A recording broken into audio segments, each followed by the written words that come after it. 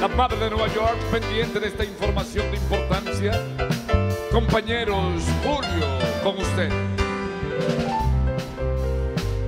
El show tiene que continuar y nosotros nos sentimos un poco afligidos por la situación que, que todos conocemos y que ya hemos mencionado en el bloque anterior.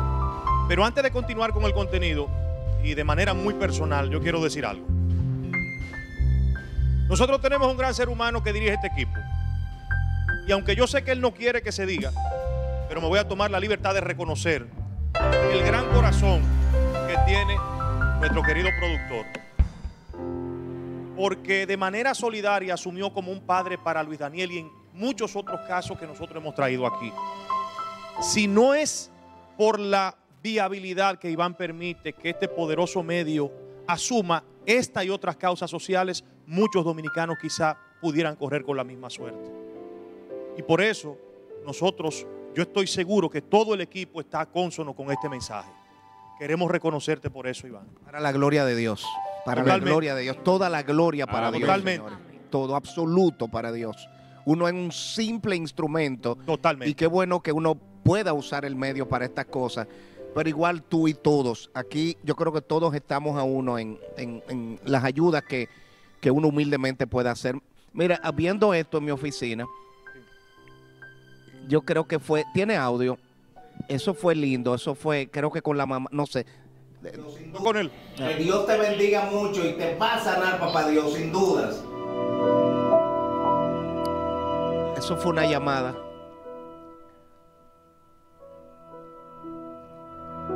Tenemos mucho. Vamos a decir, Luis Daniel te queremos. Uno, dos y tres. Luis Daniel te queremos.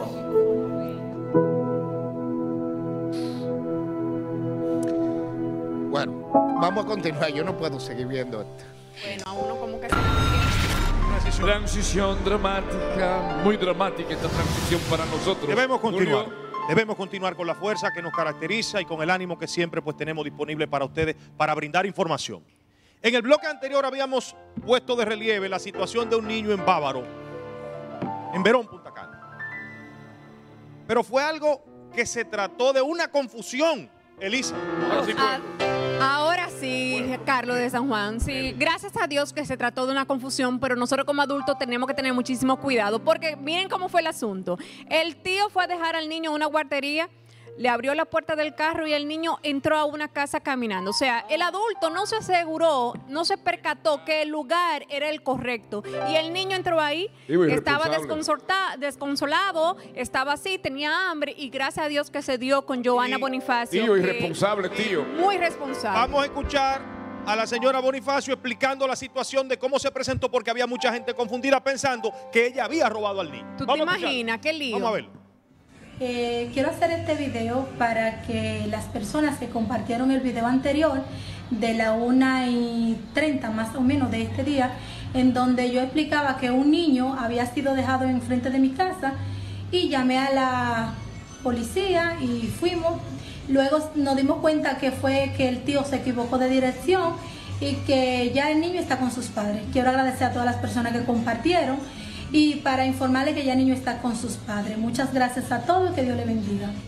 Qué bueno que tenemos un final feliz. Ahora sí. Y que las especulaciones que andan rodando por ahí de que se están robando los muchachos, Ay, sí. sencillamente son eso, especulaciones. Y Julio, y gracias a Dios que el niño fue a caer a mano de A una señora que no tenía malas Exactamente. Hay intenciones. situaciones cuando tú dejas a alguien, sobre todo a un niño, tú tienes que esperar que vaya a su destino. También cuando tú- hay, hay, ha- habido casos que cuando tú dejas a alguien de noche, lo han asesinado en la puerta. Sí, pero gracias a Dios que esto fue de día y que el niño encontró quien lo albergara. Nosotros tenemos que continuar. Adelante, don Rookie.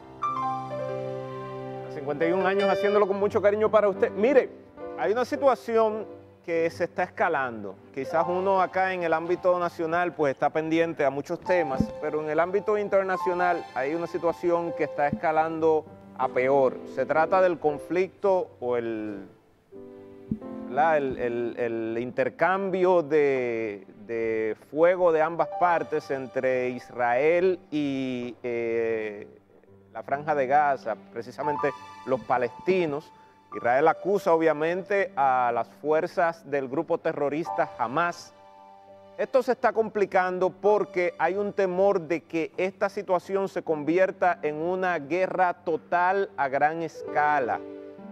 Ya se encuentran preparadas tropas terrestres del lado israelí, del ejército israelí, y han empezado a bombardear con artillería lo que ellos de- declaran son túneles que usa Hamas para entrar a territorio israelí. La complicación de esto, señores, es la siguiente. Mire, el, manualito de guerra dice que usted primero empieza con ataques aéreos, es lo que ha hecho Israel. Luego usted suaviza al enemigo con artillería de campo, que ya son tanques y, otras piezas de artillería terrestre, para en tercer lugar entonces enviar las tropas terrestres. Eso hace que se allane el camino y el trabajo de esos soldados que van a entrar allí sea más fácil. Ojalá que la comunidad internacional pueda negociar un alto al fuego inmediato. Se están perdiendo vidas y la situación sigue escalada. Lo que ustedes ven son imágenes que acaba de, hace apenas tres horas, acaba de emitir el ejército israelí de esos bombardeos por parte de sus piezas de artillería, que son esos tanques que usted ve ahí. Parecen unos tanques, pero en realidad son piezas de artillería. Eh, esto es preocupante porque los israelíes no temen en entrar a Gaza o Palestina si tienen que hacerlo. Sus Fuerzas Armadas están preparadas, han hecho esto varias veces, están entrenados para esto y esto pudiera tratarse de una escalada que tomaría más vida de la que ya lleva. Ojalá y se pueda existir un alto al fuego en lo que las negociaciones dan lugar para un alto al fuego permanente. Eh, me extraña mucho que la comunidad internacional todavía no haya pedido ese alto al fuego unilateral, es decir, que ambas facciones vayan a un alto al fuego inmediato. Se están perdiendo vidas de civiles en ambos lados. Israel no teme y no va a, vacilar en utilizar sus fuerzas armadas terrestres y entrar a Palestina. Si esto ocurre, Claro. Eh, de- de un es una lástima que nosotros en pleno siglo XXI sigamos, los seres humanos, eh, con, con- con estas guerras eh, tan absurdas. I- Iván, decía, decía en mi alocución que el, el manual de conflicto armado, ¿verdad? Primero los, los ejércitos atacan, eh, bombardean de forma aérea, luego bombardean con artillería terrestre para allanar el paso a una intervención de sus tropas a pie, porque así encuentran al enemigo más deteriorado. Ya hay 9.000 reservistas israelíes, aparte del ejército regular, posicionados en la frontera y los militares israelíes le han dado el plan de ataque a los políticos para que lo autorice. Eso significaría entrada de tropas israelíes a Palestina, lo que generaría más muerte y más violencia. Lo que debe de haber ahora... Cese la guerra, que Lo cese que la debe de haber ahora es un alto al fuego incondicional y que la eh, comunidad internacional intervenga para ese alto al fuego, Bien. para evitar Buen- más pérdidas. Buen mensaje, vez. Sobre todo usted que ha estado en esos, por esos lados. Un, alto al fuego incondicional Correcto. y que se negocie, pero un alto al fuego porque Bien. están muriendo civiles. Un La mayoría de los muertos son palestinos. Transición. Mayoría, tran- transición. Así, así-. Se ordena la transición dramática, cambio temático, compañeros. Abaten atención, señor Julio en la avenida de la salud del Mirador Sur, hace días que se están presentando situaciones de carácter violento. ¿Cuáles? ¿Cómo así? En breve les voy a decir de qué trata esto porque las autoridades tienen que llamar la atención a lo que está pasando. Y en la urbanización real también. En la urbanización real también. Una niña de, de nueve años corriendo porque dos atracadores le cayeron atrás. Madre mío. En el Distrito Nacional. Miren esto. Miren esto. literalmente casi llegando al 2 nos estábamos devolviendo y a ella le clavaron una vaina en la mano, una botella. enséñale la mano. Mire la mano como la tiene, mírela como la tiene. Eso Mira fue en Mirador Sur, una- en la Avenida de la Salud. Mirador Sur. Sí. En breve, vamos a desarrollar este tema con la mayor amplitud que demanda la circunstancia. Pero hay una Ahora, situación. o vamos a hacerlo. Julio, hay una situación por ahí de que hay- está muy oscuro eso por ahí. Sí, Mira, lo que sucede es que en las noches hay un grupo de ciclistas que están allí realizando actividades deportivas, aprovechando también la luz del alumbrado público, pero parece que en ese momento, en esa parte estaba oscuro. Y se supone que ahí, en ese lugar, Y la vigilancia. hay una, una vigilancia, hay una dotación policial. Quítenle Estas damas, a una le clavaron... Pero mira, ¿Eh? eso, eso debería, Sí, compañero, vigilancia. eso debería haber eh, mucha seguridad en el mirador. De hecho, hay un destacamento cerca, Eso es lo que estoy diciendo. eh, en Eso el no mismo funciona. mirador. ¿Ah? Eso no Y funciona. hay cámaras también. Hay cámara. Bueno, pues es fácil porque mira lo que le hicieron. Yo creo que ellos dicen que fueron como haitianos. E- Ellos sostienen que fueron personas ahí que fueron haitianos, según ellos, pero no se sabe porque los ¿Tú delincuentes no sabes lo tienen que pasa? nacionalidad. Se- seguimos inseguros. trabajo. Oye, seguimos inseguros. Yo lo decía en el pasado gobierno. Quítenle Me siento trabajo. inseguro, me sigo sintiendo inseguro. Me Quítenle sigo sintiendo inseguro. Esa es la verdad. A mí nadie, nada ni nadie me calla. Tienen que quitarle el trabajo. a Quítenle esos el delincuentes. trabajo. Hay que quitarle el empleo a esos señores. Quítenle hay que el quitarle el empleo. Esa mujer pudo haber perdido la vida y le clavaron una botella Lo que para pasa es que no hay régimen de consecuencia. Mira, Quítenle el trabajo. tú sabes lo que tiene que concentrarse eh, eh, el Senado en el nuevo código, en el asunto del cúmulo de penas. Sí. O sea, que haya régimen de consecuencia. Valoro y quiero aprovechar Pedro Catrén, el senador de mi pueblo, Samaná. Que personalmente yo pienso que fue del que, de los que se coló en la, en la ola. ¿Cómo? Sí, Hay muchos senadores que yo creo, bueno, y tampoco la competencia era tan... Era, era su segunda Pero aspiración. Pedro Catrén es un tipo muy serio. Yo tengo Sí. muy buena referencia de él. No sé si ha hecho muchas cosas por Samaná todavía, pero creo, y mira, y donde yo lo valoro, porque es que digo una cosa y digo la otra.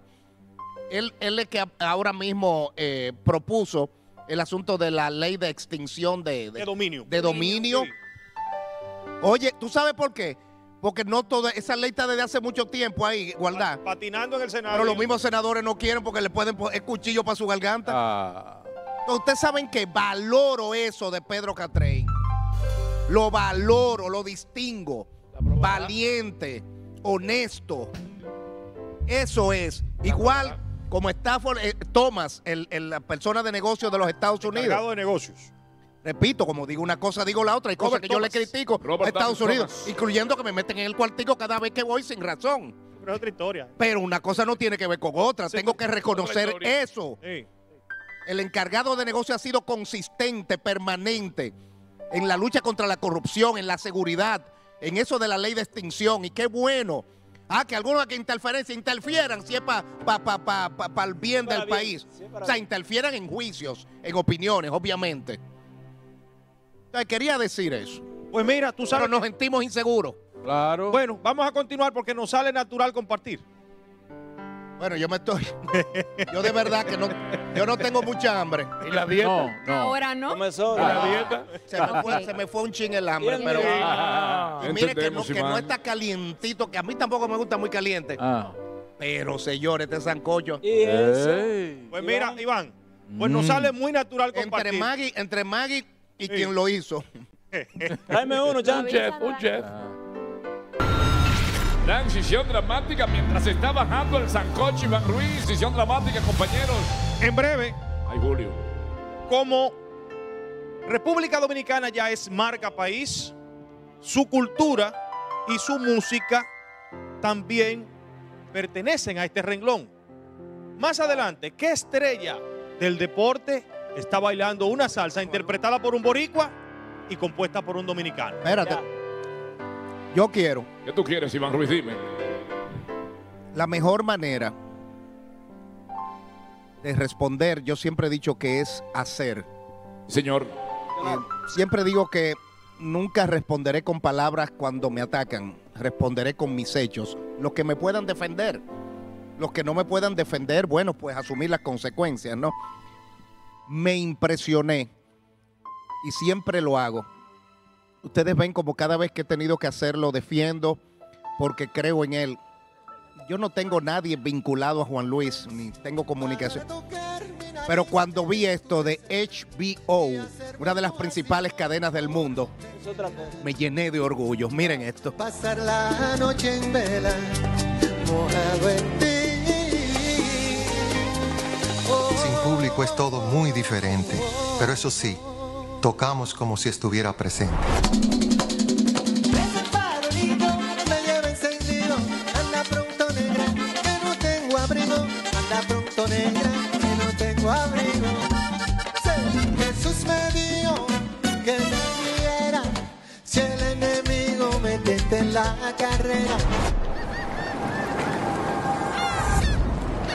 La playa Esmeralda fue nuestro escenario y nos salpicó de alegría, como se alegran las olas al atracar la arena. Me sube la bilirrubina. Me sube la bilirrubina. Cuando te miro y no me miras. Cuando te miro y no me miras. Y no lo quita la aspirina. Es un amor que contamina.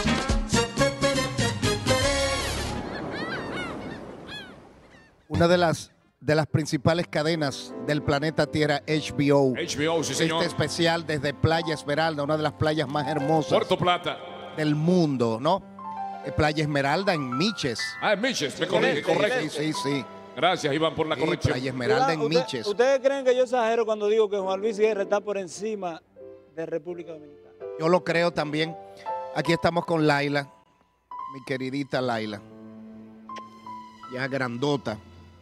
Eh, que nos va a hacer algo también sacando de abajo.